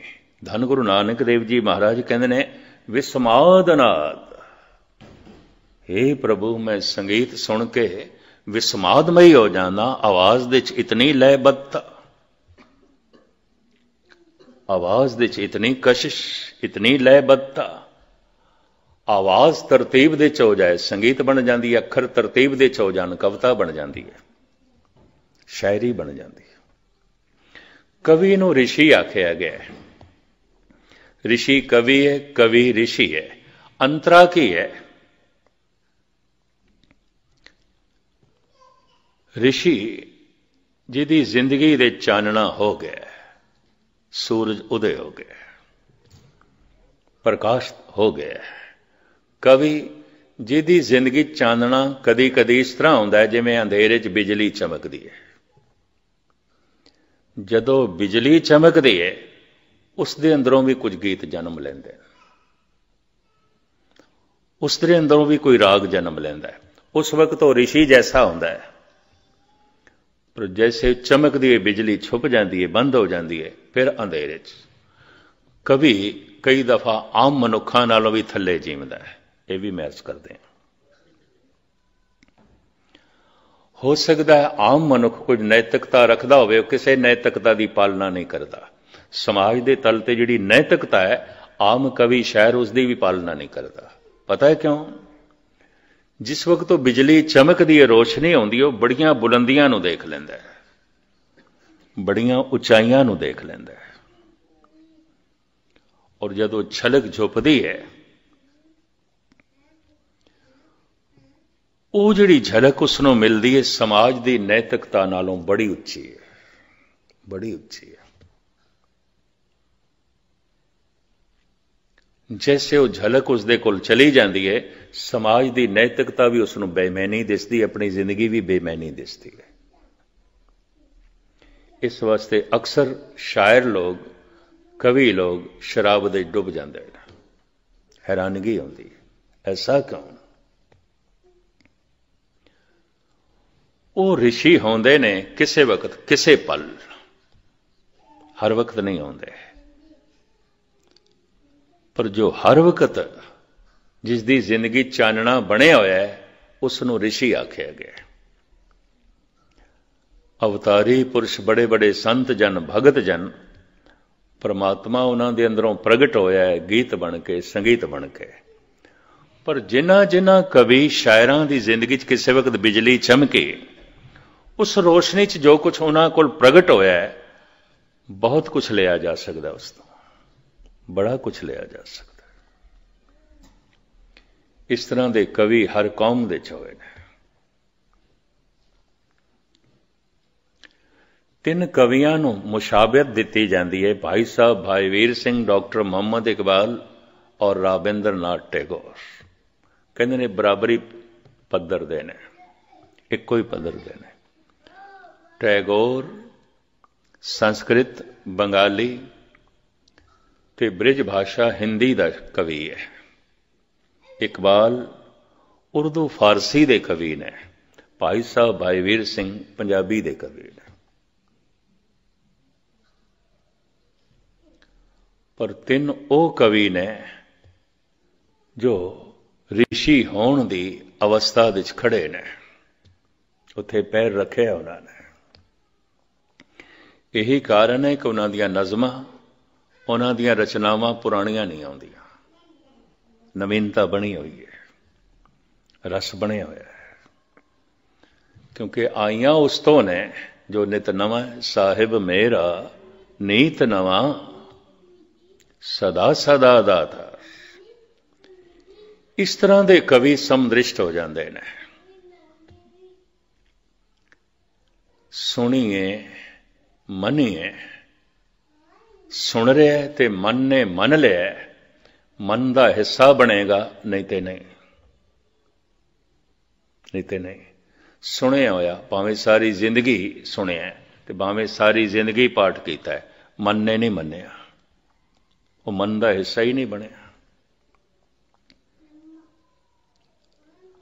ਭਾਵੇਂ ਇੱਕ ਪੰਕਤੀ ਜ਼ਿੰਦਗੀ ਨੂੰ ਰੋਸ਼ਨ ਕਰ ਸਕਦੀ ਹੈ। ਇੱਕੋ ਹੀ ਸ਼ਬਦ ਸੱਜਣ ਠੱਗ ਨੇ ਸੁਣਿਆ ਸੀ, ਕੇਵਲ ਗੁਰੂ ਨਾਨਕ ਕੋਲ ਇੱਕੋ ਹੀ ਸ਼ਬਦ। ਅੰਦਰ ਦੀ ਸਾਰੀ ਮੈਲ ਧੁੱਲ ਗਈ। ਪਰ ਵਾਕਈ ਸਰੋਤਾ ਸਰੋਤਾ ਸਿੱਖ ਬਣ ਸਕਦਾ ਦੂਜਾ ਨਹੀਂ, ਸੁਣਨਾ ਸੁਣਨਾ ਕੌਣ ਸੁਣ ਸਕਦਾ ਹੈ? ਕੌਣ ਸੁਣੇਗਾ? ਮੈਂ ਕੁਝ ਨਹੀਂ ਜਾਣਦਾ। ਮੈਂ ਕੁਝ ਨਹੀਂ ਜਾਣਦਾ। ਕੁਝ ਵੀ ਨਹੀਂ ਜਾਣਦਾ। ਮੈਂ ਸਿੱਖਣਾ ਚਾਹਨਾ ਤੋ ਸਿੱਖਣ ਦੀ ਸ਼ੈਲੀ ਸੁਣਨ ਤੋਂ ਆਰੰਭ ਹੋਵੇ। ਗੁਰੂ ਨੂੰ ਸੁਣਨਾ ਹੈ। ਗੁਰੂ ਸੁਣਨ ਦਾ ਵਿਸ਼ਾ ਹੈ। ਅਗਰ ਇਹ ਸੁਣ ਰਿਹਾ ਹੈ, ਵਾਕਈ ਸੁਣ ਰਿਹਾ ਹੈ, ਔਰ ਇਸ ਦੇ ਮਨ ਨੇ ਸੁਣ ਕੇ ਮੰਨ ਲਿਆ, ਜਿੰਨੀ ਸੁਣ ਕੇ ਮੰਨਿਆ, ਹਉ ਤਿੰਨ ਬਲ ਹਾਰੇ ਜਾਉ। ਮਹਾਰਾਜ ਕਹਿੰਦੇ, ਮੈਂ ਸਦਕੇ ਜਾਣਾ ਉਹਨਾਂ ਤੋਂ। ਸੁਣ ਕੇ ਮੰਨਿਆ ਤਾਂ ਮਨ ਦਾ ਹਿੱਸਾ ਬਣ ਜਾਏਗਾ। ਭਰੋਸਾ ਬਚ ਜਾਏਗਾ। ਭਰੋਸਾ ਸੁਣ ਕੇ ਹੀ ਬਣਦਾ ਹੈ। ਹੁਣ ਮੈਂ ਅਰਜ਼ ਕਰਾਂ, ਉਸ ਤੋਂ ਵਿਰੋਧੀ ਕੁਝ ਸੁਣ ਕੇ ਅਗਰ ਉਹ ਮੰਨ ਲਿਆ ਤਾਂ ਭਰੋਸਾ ਟੁੱਟ ਵੀ ਸਕਦਾ ਹੈ। 10 ਸਾਲ ਕਥਾ ਸੁਣ ਰਿਹਾ ਸੀ, ਕਿਸੇ ਕੋਲ ਉਸ ਤੋਂ ਵਿਪਰੀਤ ਸੁਣ ਲਿਆ ਭਰੋਸਾ ਟੁੱਟ ਵੀ ਸਕਦਾ ਹੈ। 10 ਸਾਲ ਤੋਂ ਕੀਰਤਨ ਸੁਣ ਰਿਹਾ ਸੀ, ਗੁਰਬਾਣੀ ਸੁਣ ਰਿਹਾ ਸੀ, ਤੇ ਸੁਣਦਿਆਂ ਮਨ ਕੇ ਭਰੋਸਾ ਬਣ ਗਿਆ। ਹਾਂ, ਪ੍ਰਭੂ ਹੈ, ਭਰੋਸਾ ਬਣ ਗਿਆ। ਇਹ ਭਰੋਸਾ ਟੁੱਟ ਸਕਦਾ ਹੈ। ਇਸ ਭਰੋਸੇ ਨੂੰ ਕੋਈ ਡੁਲਾਏ ਮਾਨ ਕਰ ਸਕਦਾ ਕੋਈ ਪ੍ਰਬਲ ਦਲੀਲ ਨਾਲ ਉਸ ਤੋਂ ਵਿਪਰੀਤ ਗੱਲ ਆਖ ਦੇਵੇ ਤੇ ਉਸ ਦਾ ਮਨ ਮੰਨ ਲਵੇ, ਭਰੋਸਾ ਟੁੱਟ ਜਾਂਦਾ ਹੈ। ਬੜੇ ਬੜਿਆਂ ਦੇ ਭਰੋਸੇ ਟੁੱਟਦੇ ਮੈਂ ਦੇਖੇ ਨੇ। ਇਹ ਵੀ ਮਹਿਰਜ ਕਰਦੇ ਆ ਕੋਈ ਬਹੁਤ ਵੱਡੀ ਗੱਲ ਨਹੀਂ ਹੈ, ਭਰੋਸੇ ਦਾ ਟੁੱਟ ਜਾਣਾ, ਟੁੱਟ ਜਾਂਦਾ ਅਗਰ ਕਿਸੇ ਨੂੰ ਸੁਣ ਕੇ ਭਰੋਸਾ ਨਹੀਂ ਟੁੱਟਿਆ, ਹੋ ਸਕਦਾ ਸੰਸਾਰ ਦਾ ਕੋਈ ਗਹਿਰਾ ਦੁੱਖ ਭਰੋਸੇ ਨੂੰ ਤੋੜ ਕੇ ਰੱਖ ਦੇਵੇ। ਕਿਸ ਤਰ੍ਹਾਂ ਰੱਬ ਨੂੰ ਮੰਨਦਾ ਹੀ ਨਹੀਂ, ਕਿਸ ਤਰ੍ਹਾਂ ਰੱਬ ਹੋ ਸਕਦਾ ਹੈ? ਪ੍ਰਮਾਤਮਾ ਕਿਸ ਤਰ੍ਹਾਂ ਹੋ ਸਕਦਾ ਐਨਾ ਦੁੱਖ ਐਨਾ ਦੁੱਖ। ਭਰੋਸਾ ਤੋੜਨ ਵਾਸਤੇ ਹਜ਼ਾਰਾਂ ਸਾਧਨ ਬਾਰ ਮੌਜੂਦ ਨੇ। ਭਰੋਸਾ ਜੋੜਨ ਵਾਸਤੇ ਤੇ ਕੇਵਲ ਸਤਸੰਗ ਹੈ ਹੋਰ ਕੁਝ ਵੀ ਨਹੀਂ ਕੇਵਲ ਗੁਰੂ ਨੂੰ ਸੁਣਨਾ ਭਰੋਸਾ ਟੁੱਟ ਸਕਦਾ ਹੈ ਪਰ ਬਾਰ-ਬਾਰ ਸੁਣਿਆ ਹੋਇਆ ਜੋ ਮੰਨਿਆ ਗਿਆ ਮਨ ਕੇ ਜੋ ਭਰੋਸਾ ਬਣਿਆ ਤੇ ਭਰੋਸਾ ਬਣ ਕੇ ਭਾਵਨਾ ਬਣ ਗਿਆ ਭਗਤੀ ਬਣ ਗਿਆ ਹੁਣ ਇਹਦੇ ਤਨ ਦੇ ਟੁਕੜੇ ਟੁਕੜੇ ਤੇ ਹੋ ਸਕਦੇ ਨੇ ਭਰੋਸਾ ਟੁੱਟੇ ਟੁੱਟੇਗਾ ਨਹੀਂ ਹੁਣ ਇਹ ਉਬਲਦੀ ਦੇਗ ਦੇ ਚ ਉਬਲ ਸਕਦਾ ਹੈ ਇਹਦਾ ਭਰੋਸਾ ਨਹੀਂ ਟੁੱਟੇਗਾ ਇਹ ਸਮਦ੍ਰਿਸ਼ਟ ਹੋ ਜਾਏਗਾ ਇਹ ਜਲਾਦ ਦੇ ਚ ਵੀ ਪ੍ਰਮਾਤਮਾ ਨੂੰ ਦੇਖੇਗਾ ਅਗਰ ਕਿਸੇ ਨੇ ਇਸ ਦੇ ਟੁਕੜੇ ਕੀਤੇ ਇਹ ਉਹਦੇ ਵਿੱਚ ਵੀ ਪ੍ਰਮਾਤਮਾ ਨੂੰ ਵੇਖੇਗਾ ਜੋ ਦੀ ਸੇ ਸੋ ਤੇਰਾ ਰੂਪ ਕਰਕੇ ਹੋ ਜਾਏਗਾ ਸਮਦ੍ਰਿਸ਼ਟ ਹੋ ਜਾਏਗਾ जैसे भगवान समदृष्ट है भगत समदृष्ट हो जाता है ਸਮਦ੍ਰਿਸ਼ਟੀ ਪਹਿਚਾਣ ਹੈ ਕਿ ਇਹਦਾ ਸੁਣਿਆ ਹੋਇਆ ਮਨ ਤੋਂ ਅੱਗੇ ਲੰਘ ਕੇ ਭਰੋਸੇ ਤੋਂ ਅੱਗੇ ਲੰਘ ਕੇ ਭਾਵਨਾ ਬਣ ਗਏ ਭਗਤ ਹੈ। ਪੰਡਤ ਸੂਰ ਛਤਰਪਤ ਰਾਜਾ, ਭਗਤ ਬਰਾਬਰ ਔਰ ਨਾ ਕੋਏ। ਭਗਤ ਦੀ ਬਰਾਬਰੀ ਕੋਈ ਨਹੀਂ ਕਰ ਸਕਦਾ, ਕਿਉਂ? ਭਗਤ ਭਗਵਾਨ ਜੈਸਾ ਹੈ। ਭਗਤ ਪ੍ਰਮਾਤਮਾ ਜੈਸਾ ਹੈ। ਭਗਤ ਈਸ਼ਵਰ ਜੈਸਾ ਹੈ। ਸਮਦ੍ਰਿਸ਼ਟ ਹੋ ਜਾਂਦਾ ਹੈ। ਉਹਦੇ ਲਈ ਸਭ ਕੁਝ ਈਸ਼ਵਰਮਈ ਹੋ ਜਾਂਦਾ ਹੈ। ਇਹ ਵਿਸ ਸੰਸਾਰ ਤੁਮ ਦੇਖਦੇ, ਹਰ ਕਾ ਰੂਪ ਹੈ, ਹਰ ਰੂਪ ਨਦਰੀ ਆਇਆ। ਤਰ੍ਹਾਂ ਤਰ੍ਹਾਂ ਦੇ ਵਿਤਕਰਿਆਂ ਦੇ ਵਿੱਚ ਜੀਣ ਵਾਲੇ ਮਨੁੱਖ, ਹੋ ਸਕਦਾ ਹੈ ਅਜੇ ਭਰੋਸੇ 'ਚ ਵੀ ਨਹੀਂ ਜੀ ਰਿਹਾ। ਅਜੇ ਸੁਣੀ ਹੋਈ ਬਾਣੀ, ਮਨ ਦਾ ਹਿੱਸਾ ਨਹੀਂ ਬਣੀ, ਸਰੋਤੇ ਵੀ ਨਹੀਂ ਹੈ। ਸੁਣੀਏ ਮਨੀਏ ਮਨ ਕੀਤਾ ਬਾ ਭਾਵਨਾ ਸੁਣ ਕੇ ਜਿਸ ਦੀ ਬਣ ਗਈ ਹੈ ਸੁਣ ਕੇ ਜਿਸ ਦਾ ਭਰੋਸਾ ਬਣ ਗਿਆ ਖਤਰੇ 'ਚ ਹੈ ਭਰੋਸਾ ਟੁੱਟ ਵੀ ਸਕਦਾ, ਕੋਈ ਤੋੜ ਕੇ ਰੱਖ ਦੇਗਾ। ਔਰ ਮੈਂ ਇਸ ਜ਼ਿੰਦਗੀ ਦੇ ਵਿੱਚ ਅੰਦਾਜ਼ਨ 46 47 ਸਾਲ ਹੋ ਗਏ ਨੇ, ਮੈਨੂੰ ਕਥਾ ਕਰਦੇ। ਮੈਂ ਚੰਗੇ ਚੰਗੇ ਬੰਦੇ ਦੇਖੇ ਜਿਨ੍ਹਾਂ ਦੇ ਭਰੋਸੇ ਟੁੱਟ ਗਏ। ਗੁਰੂ ਤੋਂ ਭਰੋਸੇ ਟੁੱਟ ਗਏ। ਗੁਰਦੁਆਰੇ ਤੋਂ ਭਰੋਸੇ ਟੁੱਟ ਗਏ। ਪਰਮਾਤਮਾ ਤੋਂ ਭਰੋਸੇ ਟੁੱਟ ਗਏ। ਕਈਆਂ ਦੇ ਤੇ ਬਹੁਤ ਛੋਟੀ ਛੋਟੀ ਗੱਲ ਤੇ ਵੀ ਟੁੱਟੇ। ਇਹ ਪਿਛਲੇ ਸਾਲ ਦੀ ਗੱਲ ਕੈਲੀਫੋਰਨੀਆ 'ਚ ਇੱਕ ਸੱਜਣ ਨੇ ਅਖੰਡ ਪਾਠ ਰਖਾਇਆ।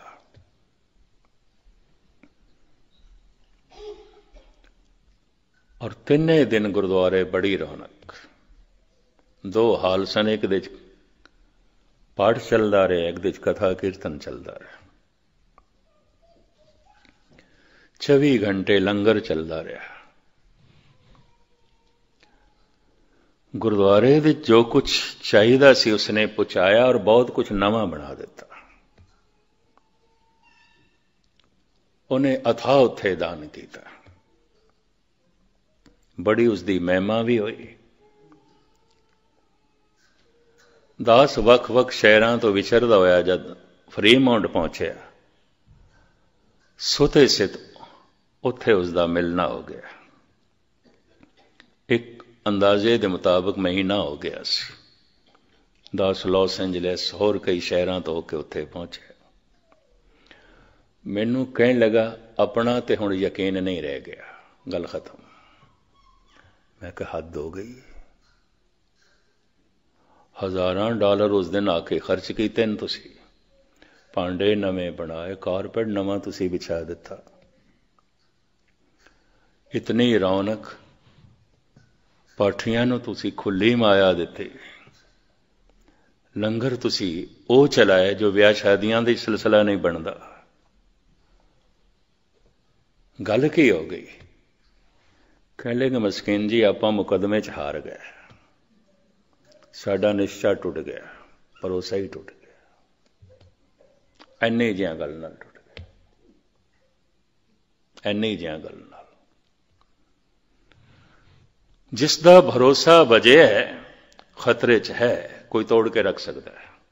ਕੋਈ ਦੁੱਖ ਭਰੋਸੇ ਨੂੰ ਤੋੜ ਕੇ ਰੱਖ ਦੇ।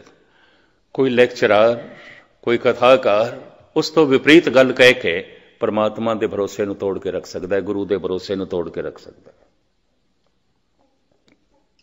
ਔਰ ਭਰੋਸੇ ਟੁੱਟਦੇ ਮੈਂ ਦੇਖੇ ਨੇ, ਇਹ ਵੀ ਮੈਂ ਅਰਜ਼ ਕਰਦੇ ਹਾਂ। ਉਹ ਆਪਣੇ ਆਪ ਨੂੰ ਖਤਰੇ 'ਚ ਸਮਝੇ। ਜਿੰਨੇ ਚਿਰ ਤੱਕ ਭਰੋਸਾ ਭਾਵਨਾ ਨਹੀਂ ਬਣਦਾ, ਭਗਤੀ ਨਹੀਂ ਬਣਦਾ, ਭਗਤ ਦਾ ਭਰੋਸਾ ਨਹੀਂ ਟੁੱਟਦਾ। ਭਗਤ ਤੇ ਭਗਵਾਨ ਦਾ ਰੂਪ ਹੋ ਜਾਂਦਾ ਹੈ।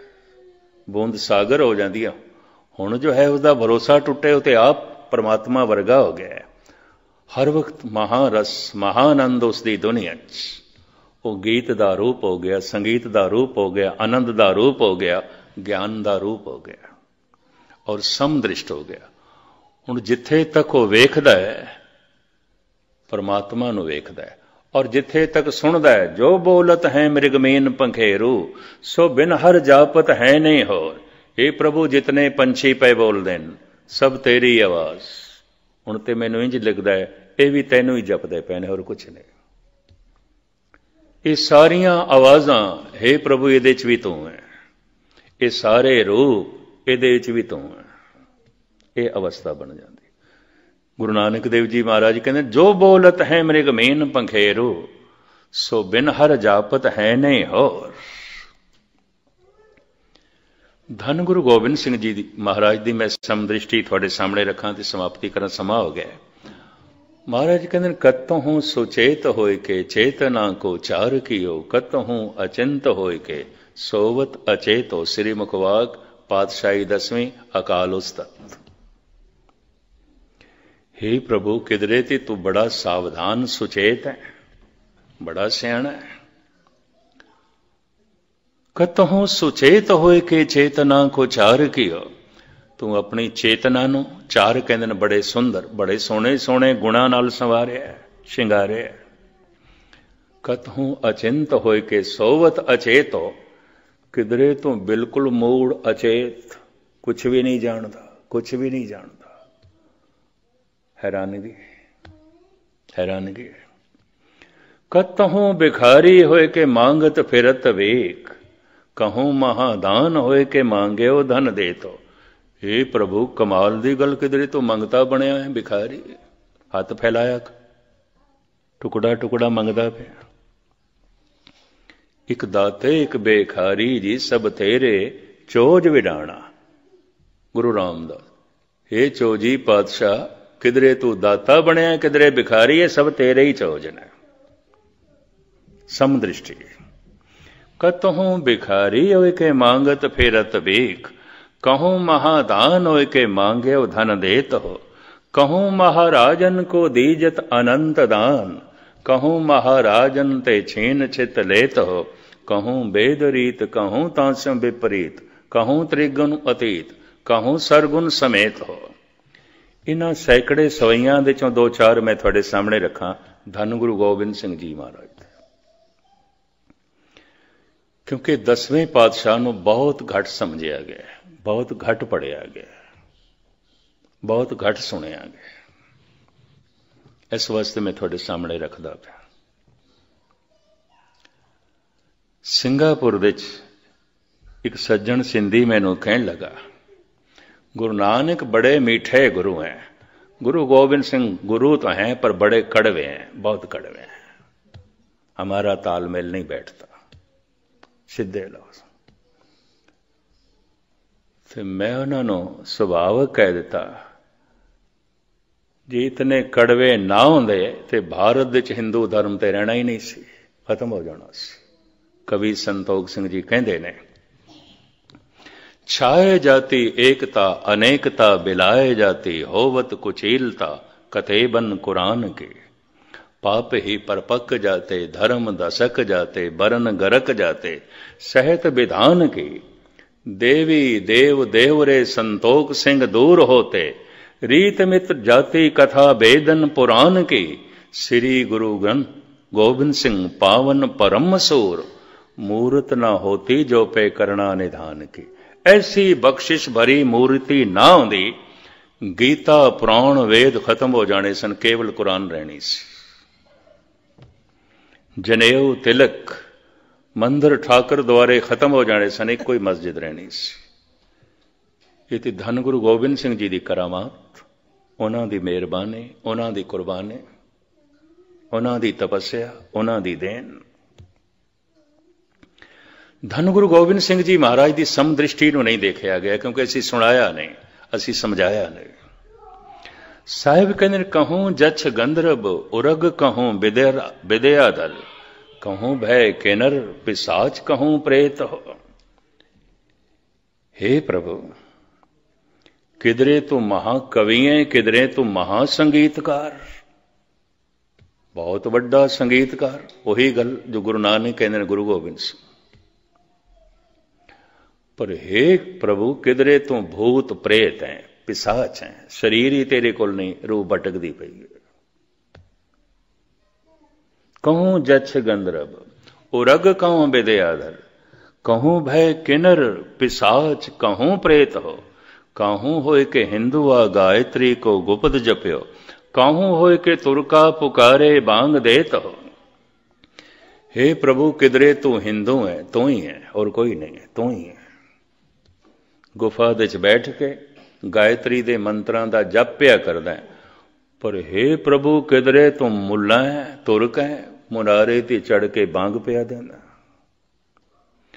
ਗੁਫਾ ਦੇ ਵਿੱਚ ਬੈਠ ਕੇ ਮੰਤਰਾਂ ਦਾ ਜਪ ਕਰਨ ਵਾਲੇ हे ਪ੍ਰਭੂ, ਤੂੰ ਹੀ ਹੈ ਮੁਨਾਰੇ ਤੇ ਚੜ ਕੇ ਬਾੰਗ ਦੇਣ ਵਾਲੇ हे ਪ੍ਰਭੂ, ਤੂੰ ਹੀ ਹੈ ਕਹੂੰ ਕੋ ਬਕਾਬ ਹੋਏ ਪੁਰਾਨ ਕੋ, ਪੜਤ ਮਤ ਕਤਹੂੰ ਕੁਰਾਨ ਕੋ ਨਿਦਾਨ ਜਾਨ। ਲੇਤ ਹੋ ਕਹੂੰ ਬੇਦਰੀਤ, ਕਹੂੰ ਤਾਂਸਮ ਵਿਪਰੀਤ, ਕਹੂੰ ਤ੍ਰਿਗੁਣ ਅਤੀਤ, ਕਹੂੰ ਸਰਗੁਣ ਸਮੇਤ ਹੋ। ਇਹ ਪ੍ਰਭੂ, ਮੈਂ ਦੇਖਦਾ ਕਿਦਰੇ ਤੂੰ ਪੁਰਾਣਾ ਦਾ ਪੰਡਿਤ ਹੈ ਬੜਾ ਗਿਆਨੀ ਹੈ ਬੜਾ ਗਿਆਤਾ ਹੈ ਪਰ ਕਿਧਰੇ ਤੂੰ ਕੁਰਾਨ ਦਾ ਹਾਫਿਜ਼ ਹੈ? ਤੂੰ ਹੀ ਹੈ, ਹੋਰ ਕੁਝ ਨਹੀਂ, ਤੂੰ ਹੀ ਹੈ।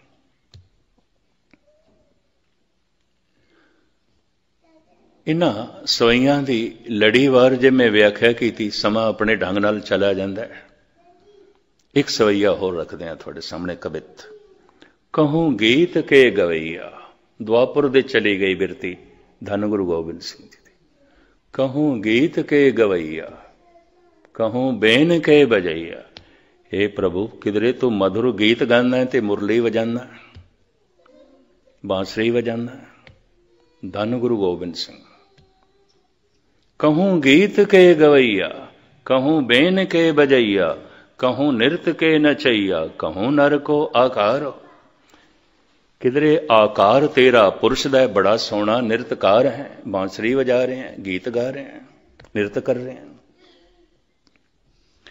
कहूं वेद बानी कहूं कोक की कहानी कहूं राजा कहूं रानी कहूं नार के प्रकार ਪਰ हे ਪ੍ਰਭੂ ਕਿਦਰੇ ਤੂੰ ਨਾਰੀ ਦੀ ਤਰ੍ਹਾਂ ਹੈ ਨਰ ਦੀ ਤਰ੍ਹਾਂ ਨਹੀਂ ਹੈ ਇਸਤਰੀ ਦੀ ਤਰ੍ਹਾਂ ਹੈ ਪੁਰਸ਼ ਦੀ ਤਰ੍ਹਾਂ ਨਹੀਂ ਹੈ ਕਿਦਰੇ ਵੇਦ ਬਾਣੀ ਵਿਦਿਆ ਨਾਲ ਭਰੀ ਹੋਈ ਗਿਆਨ ਨਾਲ ਭਰੇ ਹੋਏ ਗ੍ਰੰਥਾਂ ਦੀਆਂ ਕਹਾਣੀਆਂ ਤੂੰ ਕਰ ਰਿਹਾ ਹੈ ਪਰ ਕਿਦਰੇ ਕੋਕ ਕੀ ਕਹਾਣੀ ਆਪਦੀ ਗਿਆਤ ਲਈ ਅਰਜ਼ ਕਰਾਂ ਕੋਕਾ ਪੰਡਤ ਨੇ ਕਾਮ ਸੂਤਰ ਇੱਕ ਗ੍ਰੰਥ ਲਿਖਿਆ ਹੈ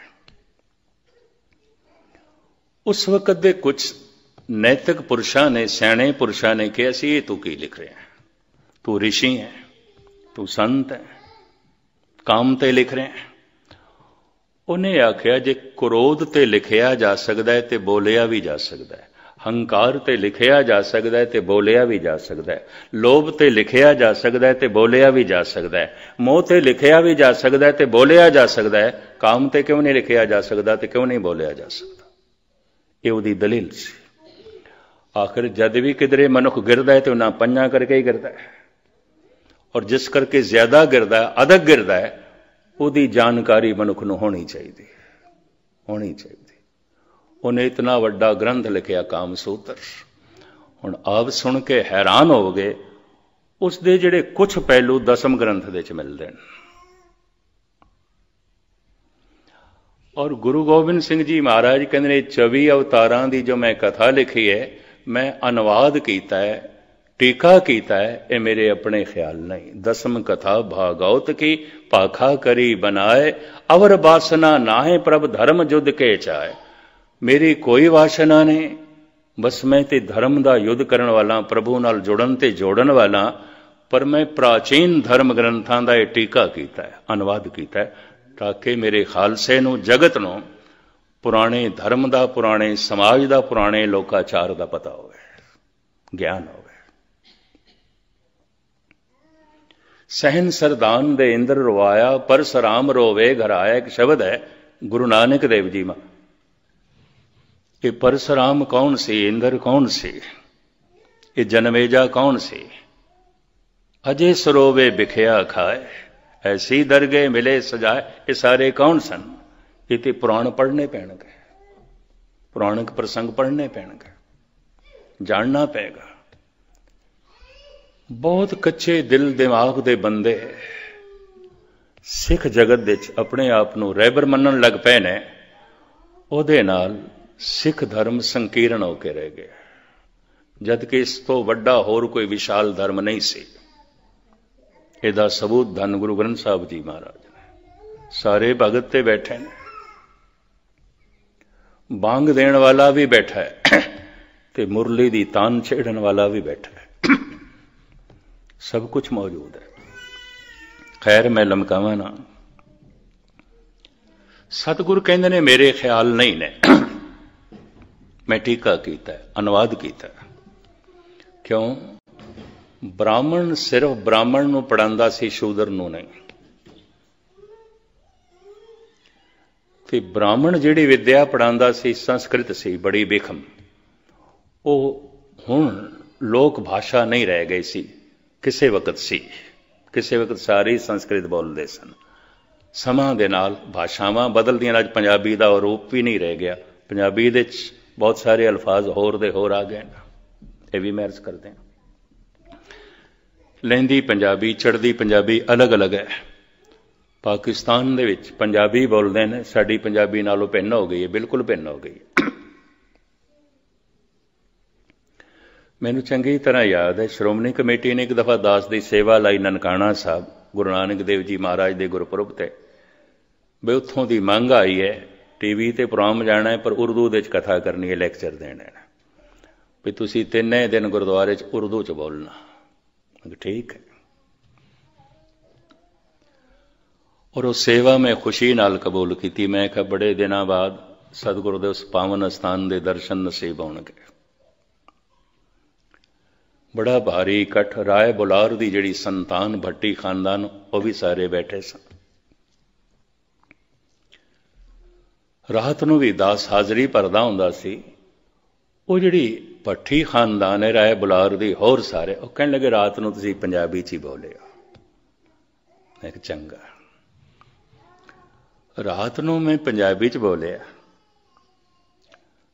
ਮੇਰੇ ਕਮਰੇ ਚੋਂ ਮੁਸਲਮਾਨ ਵੀਰ ਆ ਗਿਆ।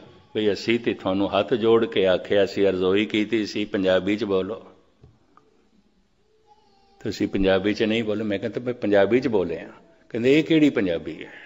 ਹੁਣ ਉਹ ਲੈਂਦੀ ਪੰਜਾਬੀ ਬੋਲਦੇ ਇਹ ਕਿਹੜੀ ਪੰਜਾਬੀ ਬੋਲਦਾ?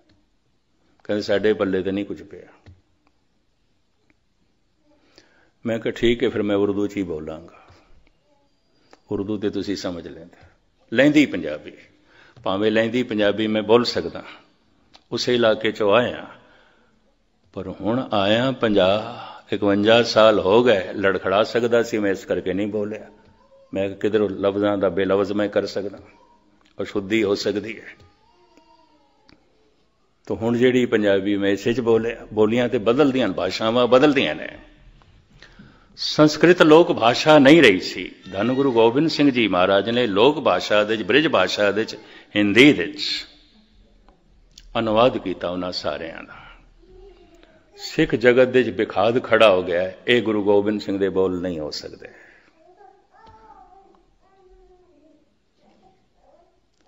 ਹੁਣ ਕੌਣ ਦੱਸੇ? ਕੋਕਾ ਪੰਡਤ ਠੀਕ ਕਹਿੰਦਾ ਹੈ, ਜੇ ਕ੍ਰੋਧ ਦੇ ਉਤਾਰ ਚੜਾਅ ਨੂੰ ਬਿਆਨ ਕੀਤਾ ਜਾ ਸਕਦਾ ਹੈ, ਕਿਧਰੇ ਕਿਧਰੇ ਕਰੋੜ, ਕ੍ਰੋਧ ਮਨੁੱਖ ਨੂੰ ਪਸ਼ੂ ਬਣਾ ਦਿੰਦਾ ਹੈ, ਪਾਗਲ ਕਰ ਦਿੰਦਾ ਜੇ ਲੋਭ ਦੇ ਉੱਤੇ ਵਿਆਖਿਆ ਕੀਤੀ ਜਾ ਸਕਦੀ ਹੈ, ਤੇ ਸਾਹਿਬ ਕਹਿੰਦੇ ਨੇ, ਲੋਭ ਤੇ ਮਨੁੱਖ ਨੂੰ ਕੂਕਰ ਜੈਸਾ ਬਣਾ ਦਿੰਦਾ ਕੁੱਤੇ ਜੈਸਾ ਬਣਾ ਦਿੰਦਾ ਜਿਉਂ ਕੂਕਰ ਹਰ ਕਾਇਆ ਤਾਵੇ ਦੇ ਦਿਸ ਜਾਏ, ਲੋਭੀ ਜੰਤ ਨਾ ਜਾਣੇ, ਭਾਖਾ ਬਖ ਸਭ ਖਾਏ। ਭਇਓ ਲੋਭ ਸੰਗ ਹੋਰਾ ਲੋਭ ਮਨੁੱਖ ਨੂੰ ਹਲਕਾਇਆ ਕੁੱਤਾ ਬਣਾ ਦਿੰਦਾ ਹੈ। ਹਲਕਾ ਕੁੱਤਾ ਆਪਣੇ ਮਾਲਕ ਨੂੰ ਵੀ ਵੱਢਣ ਲੱਗ ਪੈਂਦਾ ਹੈ। ਪਾਗਲ ਕੁੱਤਾ। ਲੋਭ ਤੇ ਪਾਗਲ ਕਰਕੇ ਰੱਖ ਦਿੰਦਾ ਹੈ। ਸੀਮਾ ਤੋਂ ਵਧਿਆ ਹੋਇਆ ਲੋਭ ਮਨੁੱਖ ਕਿਸੇ ਨੂੰ ਵੀ ਧੋਖਾ ਦੇ ਸਕਦਾ ਹੈ। ਸੀਮਾ ਤੋਂ ਵਧਿਆ ਹੋਇਆ ਹੰਕਾਰ ਮਨੁੱਖ ਨੂੰ ਜ਼ਾਲਮ ਬਣਾ ਕੇ ਰੱਖ ਦਿੰਦਾ ਹੈ। ਔਰ ਸੀਮਾ ਤੋਂ ਵਧਿਆ ਹੋਇਆ ਕਾਮ ਮਨੁੱਖ ਨੂੰ ਭ੍ਰਸ਼ਟ ਕਰਕੇ ਦੁਰਾਚਾਰੀ ਬਣਾ ਦਿੰਦਾ ਹੈ। ਅਗਰ ਪੁਰਸ਼ ਹੈ ਤਾਂ ਵਿਚਾਰੀ ਹੋ ਜਾਏਗਾ। ਅਗਰ ਇਸਤਰੀ ਹੈ ਤਾਂ ਗਨਕਾ ਹੋ ਜਾਏਗੀ, ਵੈਸ਼ਿਆ ਹੋ ਜਾਏਗੀ। ਗੁਸਤਾਖੀ ਮਾਫ ਇਸ ਦਾ ਖੁਲਾਸਾ ਕੀਤਾ ਇਸ ਦੀ ਵਿਆਖਿਆ ਕੀਤੀ ਹੈ। ਧੰਨ ਗੁਰੂ ਗੋਬਿੰਦ ਸਿੰਘ ਜੀ ਮਹਾਰਾਜ, ਅਕਾਲ ਉਸਤਤ ਵਿੱਚ ਫਰਮਾਨ ਕਰਦੇ ਨੇ हे ਪ੍ਰਭੂ, ਕਹੂੰ ਗੀਤ ਕੇ ਗਵਈਆ, ਕਹੂੰ ਬੇਨ ਕੇ ਵਜਈਆ, ਕਹੂੰ ਨਿਰਤ ਕੇ ਨਚਈਆ, ਕਹੂੰ ਨਰਕੋ ਆਕਾਰੋ। ਕਹੂੰ ਵੇਦ ਬਾਣੀ, ਕਿਦਰੇ ਤੇ ਤੂੰ ਵੇਦਾਂ ਦਾ ਪਾਠ ਪਿਆ ਕਰਦਾ ਹੈ, ਗਿਆਨ ਦੇ ਧਰਮ ਗ੍ਰੰਥ ਪਿਆ ਪੜਦਾ ਹੈ ਕਹੂੰ ਕੋਕ ਕੀ ਕਹਾਣੀ ਕਿਦਰੇ ਕੋਕ ਸ਼ਾਸਤਰ ਪਿਆ ਪੜਦਾ ਕਾਮ ਸੂਤਰ ਪਿਆ ਪੜਦਾ ਕਾਮ ਸੂਤਰ ਦੀ ਵਿਚਾਰ ਚੱਲ ਰਹੀ ਹੈ ਕਿਦਰੇ ਰਾਮ ਦੇ ਗੀਤ ਤੇ ਕਿਦਰੇ ਕਾਮ ਦੇ ਗੀਤ ਪਰ ਤੂੰ ਹੀ ਹੈ اے ਪ੍ਰਭੂ ਤੂੰ ਹੀ ਹੈ कहूं बेदवानी कहूं कोक की कहानी कहूं राजा कहूं रानी कहूं नार के प्रकार हो कहूं बेन के बजैया कहूं धेन के चरैया किधरे गौवा पे आचारदा है ਸ੍ਰੀ ਕ੍ਰਿਸ਼ਨ ਦੀ ਤਰਫ ਇਸ਼ਾਰਾ, ਦੁਆਪਰ ਦੇ ਸਤਗੁਰਾਂ ਦੀ ਸੁਰਤ ਚਲੀ ਗਈ। ਕਹੋ ਬੇਨ ਕੇ ਬਜਈਆ ਕਹੋ ਧੇਨ ਕੇ ਚਰਈਆ, ਕਹੋ ਲਾਖਨ ਲਵਈਆ, ਕਹੋ ਸੁੰਦਰ ਕੁਮਾਰ ਹੋ। ਸੁਧਤਾ ਕੀ ਸਾਨ ਹੋ, ਕੇ ਸੰਤਨ ਕੇ ਪ੍ਰਾਨ ਹੋ, ਕੇ ਦਾਤਾ ਮਹਾਦਾਨ ਹੋ। ਨਿਰਦੋਖੀ ਨਿਰੰਕਾਰ ਹੋ। ਇਹ ਪ੍ਰਭੂ, ਨਿਰੰਕਾਰ ਤੇਰੇ ਇਤਨੇ ਰੂਪ ਇਤਨੇ ਰੂਪ। ਹੁਣ ਇਸ ਸਵਈਏ ਮੈਂ ਤੁਹਾਨੂੰ ਸੁਣਾਉਂਦਾ ਜਾਵਾਂ ਤੇ ਮੈਂ ਸਾਰੀ ਰਾਤ ਲੰਘ ਜਾਏਗੀ, ਮੁਖਤਸਰ ਮੈਰਜ਼ ਅਰਜ਼ ਕਰਨ ਸਮਾਪਤੀ ਕਰਾਂ। ਇਹ ਸਾਰੇ ਰੂਪ ਕਲਗੀਧਰ ਪਾਤਸ਼ਾਹ ਬਿਆਨ ਕਰਦੇ ਨੇ ਅੱਜ ਤੱਕ ਤੇ ਆਖਿਆ ਗਿਆ ਹੈ, ਪ੍ਰਮਾਤਮਾ ਪ੍ਰਕਾਸ਼ ਰੂਪ ਹੈ, ਪ੍ਰਕਾਸ਼ ਰੂਪ ਹੈ। ਪਰ ਜਾਪ ਸਾਹਿਬ ਵਿੱਚ ਮਹਾਰਾਜ ਕਹਿੰਦੇ, ਨਮੋ ਅੰਧਕਾਰੇ, ਨਮੋ ਤੋਇ ਜਤੇ ਜੇ हे ਪ੍ਰਕਾਸ਼ ਦੇ ਰੂਪ, ਪ੍ਰਮਾਤਮਾ ਤੈਨੂੰ ਨਮਸਕਾਰ ਕਰਦਾ, ਪਰ ਅੰਧੇਰਾ ਵੀ ਤੇਰੀ ਸ਼ਕਤੀ ਤੋਂ ਬਿਨਾ ਨਹੀਂ ਹੋ ਸਕਦਾ। ਮੈਂ ਇਸ ਨੂੰ ਵੀ ਮੱਥਾ ਟੇਕਦਾ। ਨਮਸਕਾਰ। ਇਤਨੀ ਸਮਦ੍ਰਿਸ਼ਟੀ।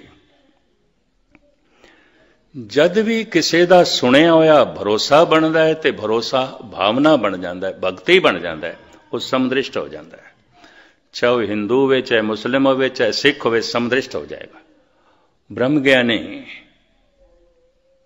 ਉਹਦੀ ਦ੍ਰਿਸ਼ਟੀ ਸਮਦ੍ਰਿਸ਼ਟ ਹੋ ਜਾਂਦੀ ਹੈ ब्रह्म ज्ञानी सदा समदृष्ट ब्रह्म ज्ञानी की अमृत दृष्ट ਉਹ ਵਾਸਤਵਿਕ ਸਮਦ੍ਰਿਸ਼ਟ ਹੋ ਜਾਂਦਾ ਹੈ ਸਾਰਿਆਂ ਨੂੰ ਇੱਕੋ ਜਿਹਾ ਸਮ ਬਰਾਬਰ ਬਰਾਬਰ ਕਰਕੇ ਦੇਖਣ ਲੱਗ ਪੈਂਦਾ ਹੈ ਇਸੇ ਤਰੀਕੇ ਨਾਲ ਇੱਕ ਮੁਸਲਮ ਫਕੀਰ ਅਮੀਰ ਖੁਸਰੋ ਇੰਜ ਬਿਆਨ ਕਰ ਦਿੰਦਾ बेखुदी में हम तो तेरा दर समझ कर झुक गए अब खुदा जाने वो काबा था या बुतखाना ਇਹ ਪ੍ਰਭੂ ਹੁਣੇ ਤੂੰ ਆਪ ਫੈਸਲਾ ਕਰੋ ਮੰਦਰ ਸੀ ਕਿ ਮਸਜਿਦ ਸੀ ਤੇਰੇ ਗੀਤ ਹੋ ਰਹੇ ਸਨ ਤੇਰੀ ਗੱਲ ਹੋ ਰਹੀ ਸੀ ਮੇਰਾ ਸਿਰ ਝੁਕ ਗਿਆ ਮੈਂ ਮੱਥਾ ਟੇਕ ਦਿੱਤਾ ਮੈਂ ਸਜਦਾ ਕਰ ਦਿੱਤਾ बेखुदी में हम तो तेरा दर समझ कर झुक गए अब खुदा जाने वो काबा था या बुतखाना ਇਹ ਰਿਸ਼ੀਆਂ ਨਾਲੋਂ ਘੱਟ ਗੱਲ ਨਹੀਂ ਹੈ ਬ੍ਰਹਮ ਗਿਆਨ ਦੀ ਸਿਖਰਤਾ ਨੂੰ ਛੂੰਦੀ ਹੈ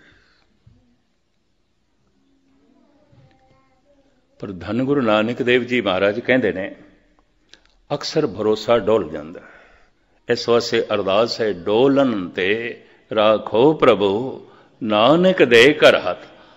ਅਵਲ ਤੇ ਕੋਈ ਵਿਰਲਾ ਹੀ ਸੁਣਦਾ ਹੈ, ਸਰੋਤਾ ਸੁਣਨਾ। ਤੇ ਸੁਣਿਆ ਹੋਇਆ ਅਗਰ ਵਾਕਈ ਮਨ ਨੇ ਮੰਨ ਲਿਆ ਸੁਣੀਏ, ਮੰਨੀਏ। ਨਹੀਂ ਤੇ ਕੀ ਸੁਣਿਆ? ਮੰਨਿਆ ਹੀ ਨਹੀਂ ਤੇ ਕੀ ਸੁਣਿਆ? ਮੈਂ ਇੱਕ ਦਫਾ ਫਿਰ ਦੁਹਰਾਵਾਂ, ਖਾਦਾ ਹੋਇਆ ਭੋਜਨ ਜੋ ਸਰੀਰ ਦੇ ਵਿੱਚ ਰਹਿ ਜਾਂਦਾ ਹੈ, ਉਹੀ ਖੂਨ ਬਣਦਾ ਹੈ।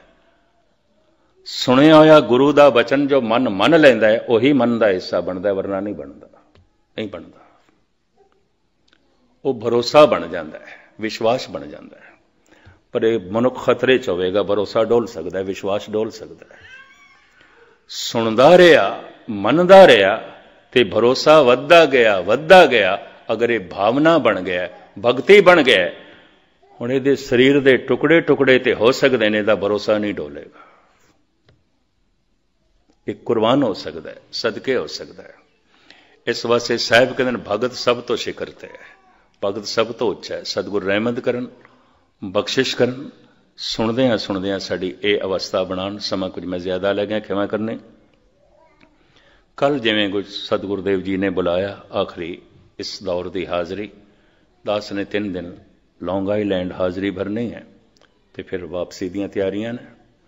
ਇਸ ਵਾਸਤੇ ਕੱਲ ਦੀ ਹਾਜ਼ਰੀ ਹੋਰ ਜੋ ਕੁਝ ਸਰਵ ਨੇ ਕੀਤਾ ਹੈ, ਧੰਨ ਗੁਰੂ ਗ੍ਰੰਥ ਸਾਹਿਬ ਜੀ ਮਹਾਰਾਜ ਦੇ ਚਰਨਾਂ 'ਚ ਅਰਦਾਸ ਬਿਨੇ ਹੈ, ਸਤਿਗੁਰੂ ਤੁਹਾਡਾ ਸੁਣਿਆ ਹੋਇਆ, ਮੰਨਣ ਤੱਕ ਪਹੁੰਚਾਵੇ, ਮੰਨਣਾ ਦ੍ਰਿੜ ਭਰੋਸਾ ਬਣ ਜਾਏ, ਵਿਸ਼ਵਾਸ ਬਣ ਜਾਏ ਤੇ ਵਿਸ਼ਵਾਸ ਭਗਤੀ ਬਣ ਜਾਏ, ਭਾਵਨਾ ਬਣ ਜਾਏ, ਸੁਣੀਏ, ਮਨੀਏ, ਮਨ ਕੀਤਾ ਭਾਉ ਅੰਤਰਗਤ ਤੀਰਤ ਮੱਲਾਓ, ਇਹੀ ਅੰਦਰ ਦਾ ਤੀਰਥ ਹੈ, ਸਾਰੇ ਪਾਪਾਂ ਨੂੰ ਧੋਲ ਦਿੰਦਾ। ਮਾਗ ਪੁਨੀਤ ਭਈ ਤੀਰਥ ਅੰਦਰ ਜਾਣਿਆ। ਇਹੀ ਅੰਦਰ ਦਾ ਤੀਰਥ ਹੈ। ਸਾਰੇ ਦੁੱਖ ਮਿਟ ਜਾਂਦੇ ਨੇ, ਸਾਰੇ ਪਾਪ ਮਿਟ ਜਾਂਦੇ ਨੇ। ਸਾਹਿਬ, ਇਸ ਤਰ੍ਹਾਂ ਦੀ ਨਿਰਮਲਤਾ, ਪਵਿੱਤਰਤਾ ਤੇ ਆਨੰਦ ਆਪ ਜੀ ਦੀ ਝੋਲੀ ਚ ਪਾਵਨ। ਕੱਲ ਦੀ ਹਾਜ਼ਰੀ ਭਰ ਕੇ ਆਪ ਤੋਂ ਛੁੱਟੀਆਂ, ਬਲ ਚੁੱਕ ਦੀ ਸ਼ਮਾ। ਵਾਹਿਗੁਰੂ ਜੀ ਕਾ ਖਾਲਸਾ।